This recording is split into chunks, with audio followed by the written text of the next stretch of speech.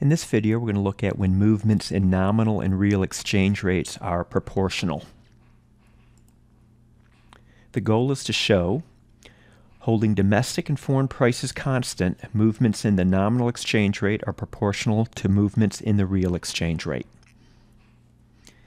For example, if the nominal exchange rate increases by 10%, we're going to show the real exchange rate increases by 10%, assuming prices of goods are held constant.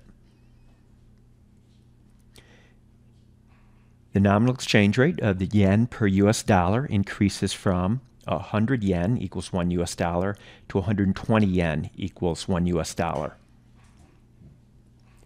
The percentage increase in the nominal exchange rate using the percentage change formula, 120 minus 100, all divided by 100, and then multiplied by 100, is 20%. So the dollar appreciated by 20%.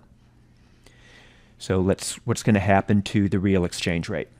The real exchange rate at 100 yen equals 1 US dollar is as follows.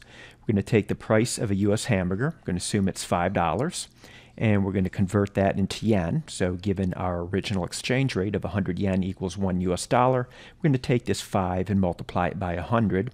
So we convert that 5 US dollars into 500 yen. Let's assume that the price of a Japanese hamburger is 1,000 yen. So the real exchange rate is going to be 500 yen divided by 1,000 yen, or 0.5 Japanese burgers per one US burger. So that is a real exchange rate at the nominal exchange rate of 100 yen equals 1 US dollar. Now let's calculate the real exchange rate when the nominal exchange rate increases to 120 yen equals 1 US dollar. The price of a U.S. hamburger under this nominal exchange rate is going to be 5 times 120 or 600 yen.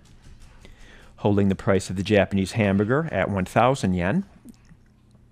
The real exchange rate then is 0.6 Japanese burgers per 1 U.S. burger. The percentage increase in the real exchange rate, our new real exchange rate is 0.6, our old real exchange rate was 0.5, so the percentage change gives us a 20% increase. So we showed that the nominal and real exchange rate increased by 20%. Again, the underlying assumption here is that the price of the US hamburger is still 5 US dollars and the price of the Japanese hamburger is 1,000 yen. So holding prices constant. Okay, that's it.